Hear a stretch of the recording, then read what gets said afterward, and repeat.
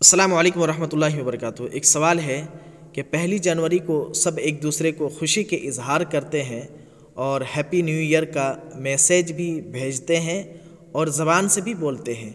तो क्या हम भी उसके जवाब में हैप्पी न्यू ईयर कह सकते हैं या लिख सकते हैं? क्या ऐसा कहना और लिखना हराम है और ऐसा कहने से ईमान भी ख़त्म हो जाएगा? तो इसका जवाब ये है कि हैप्पी न्यू ईयर कहना हराम तो नहीं है और ना ही ऐसा कहने से आदमी ईमान से खारिज होता है। लेकिन पहली जनवरी को हैप्पी न्यू ईयर कहना ये यहूद नसारा का तरीक़ा है। इसलिए हैप्पी न्यू ईयर कहने से एतराज़ करना चाहिए। अल्लाम वरहमल वर्का